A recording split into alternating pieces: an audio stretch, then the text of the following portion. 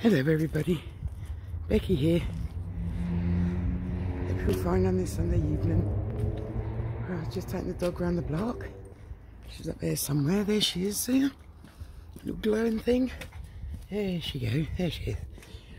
Yeah, just a little vlog to let you know that Jilly and myself will be going live tonight. First time in a few weeks. So, if you want to everyone know, share us out that the Necrophonic twins are back on lives. No more lockdown here. So I just thought I'd take you on a little walk.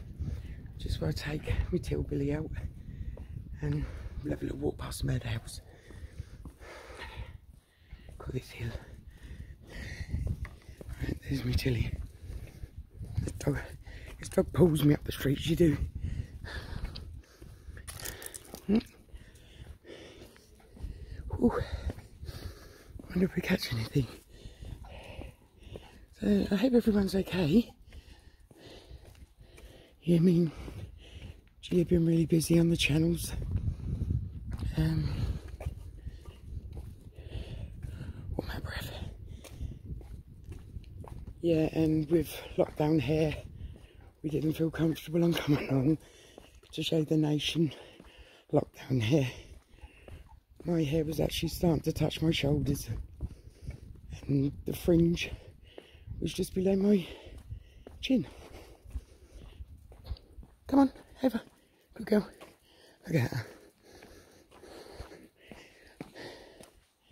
Ooh. Excuse me, get the road. Come on. Tilly. Good girl. Yeah, I took my Tilly to the vets a couple of weeks ago and apparently since she's been born she's suffered with dry eye.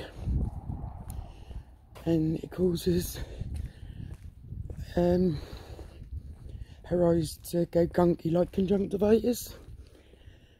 Um, and what I didn't realise is that she suffered with dry eye. And she had little ulcers on her eyeballs so she's being treated for that. And I have to put ointment in her eyes. But poor little sod, unbeknown to me, she's um, she's got 5% vision in her eyes. But she does well. Good girl. Her and Missy's the same. Two bitch dogs, but they can't get left to have a tingle. So yeah. That's why you hear Tilly bark a lot when we're on lives. Poor little girl. Don't you on that road? Come in. Good girl. Good girl. Good girl. Good girl. Yeah. So, watch the post. I was going to walk into it. Come here, Tilly. There's a car coming, baby. Come on. Good girl. Come on, there's a car coming. It's defeating the object a little bit, it? Yeah, what was saying, people? Yeah, we're going live. We've missed you. We missed you all. And there's the house, look. For those of you who have not ever seen it, there she is. What a beauty. Come here, Jill. Now that bottom window, both Jilly and myself see a skeletal um, figure. Let me turn torch on.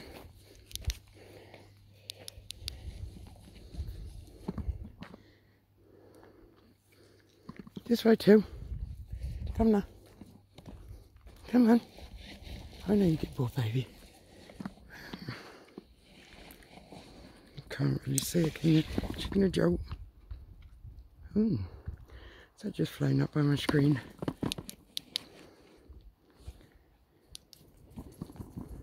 Hmm.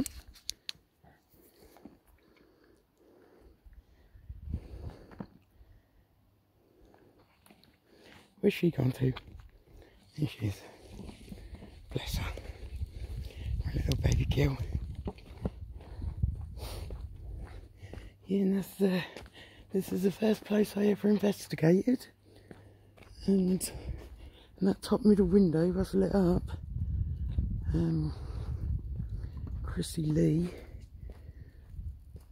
um, paranormal, um, actually caught a couple of figures. And the story to that home is that the father and um, he came home from work but in the war he lost all his family. And the word is that he's, he couldn't live with the guilt of he's the only one surviving. So he murdered his, his children and his wife. Um, they had a lodger there at the time and it, it turn out it was murder suicide. Must have been going through that poor man's mind. She's on the of something.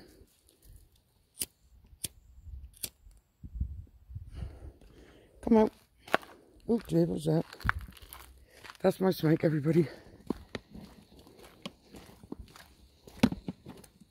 Yeah, me Jilly's got some now this lockdown's coming to a sort of end with this COVID business that we're planning on going out and doing some investigating because uh, I've only, like you all know, only ever met Jilly the once. Had a fabulous time up there in Warrington with her. Um, but four days just went long enough. I got whipped in the ear in the maze. Jilly left me in the maze. Just holding the camera. and in the forest, if you're not anyone not seen it, go back and watch our forest one. And we actually, I actually see a white figure in the corner of my eye. So I spun round and I see it. Still standing there and I just, me and Jilly just happened to knock elbows at the same time. And I said get out. Well we was walking quite fast and our kid went leg it and we legged it but the bizarre thing is we went back there the following day and we didn't clock her. It was Lacey our, our Jilly's granddaughter clocked a figure standing by the exact same tree that was dressed in black. And the night before it was in white. Was it the same was it the same figure that I see the night before? Yeah. Usually's got unfinished business there. Um I've got one Minko did go to the graveyard the other night.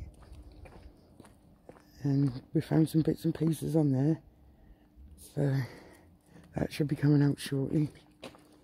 And like I say, everyone, if you hear or see anything that Jilly and myself haven't caught, um, don't be afraid to put it in the comments below. And you'll get a big shout out. And if you've got a channel, we will put your links in our next video, if that's okay with you. Because it's good to help us little channels out, it's good to help each other out. It's only meant to be a little vlog. It's full blown video. uh, you know me, I like to waffle. Yeah, Tilly's having a haircut tomorrow. Watch that post, baby girl. So she walks me around the post. I'm glad I ain't got both of them tonight. I'm actually surprised these roads are this quiet. Like I say, people, we were going live about half 11, 12 o'clock tonight. We'll probably be live before this updates, uploads. Come on, baby cakes, good girl, over, over. Good girl, good girl. Here's the old YMCA. God, it's quite nippy. Yeah, so what I'm going to do now, everybody, I'm going to put the phone down. And with all our blessings. Jilly and I Love each and every one of you, new or old. It's all glass in that cart, in that road. Yep. So, please be safe. Much love and peace to each and every one of you. The Necrophonic twins love you.